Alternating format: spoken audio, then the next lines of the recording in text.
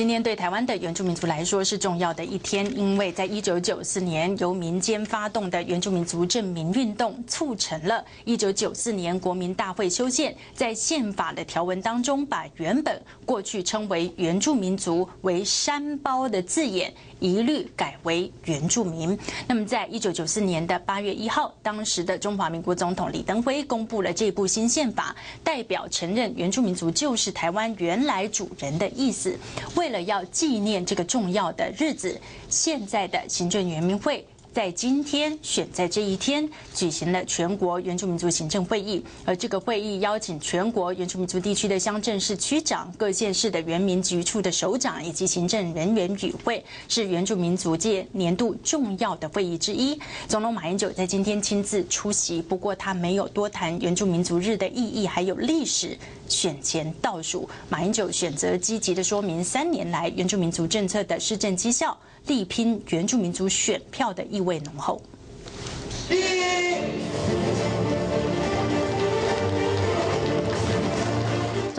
九、行政院长吴敦义在行政院原民会主委以及十四族族群委员陪同下点燃火塘，正式宣告全国原住民族行政会议揭开序幕。在这个庆祝原住民族日的现场，由全国原住民族乡镇市区长、各县市原民局处的主管以及中央行政院原民会职员齐聚一堂。总统马英九开口谈的是上任三年多以来的政绩，积极布票。我特别强调的。第一个就是要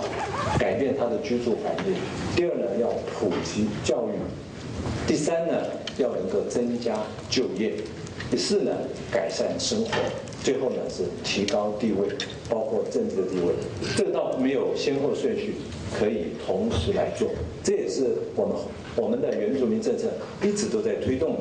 总统马英九一一细数三年前竞选期间提出的原住民族政策，认为都已经依序完成。至于示办原住民族自治的政见，却因为行政院提出的自治法草案版本引来许多负面评价。总统马英九还是强调要一步一步的来。但是自治呢，不是一个小题目，是一个非常大的题目，而且确确实会有许多的困难要克服。这四年前我就预料，在这个议题上，千万不要说大话。画大饼，要很务实来推动。没有多谈要如何务实推动，马英九再把矛头对向民进党。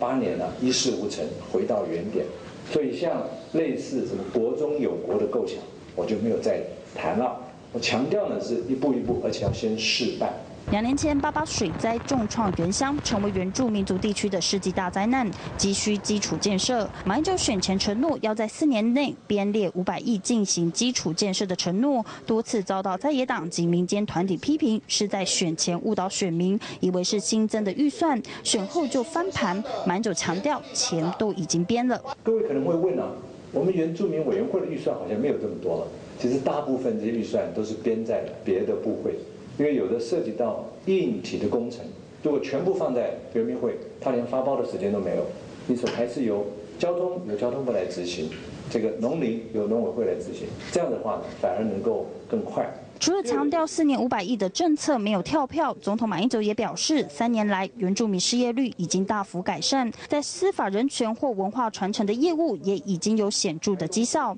一场庆祝原住民族日举行的全国原住民族行政会议，在许多原住民族的政治领袖都在的现场，总统马英九没有多谈原住民族日的历史与意义，倒是积极宣达政绩，争取原住民族的支持。记者综合报道。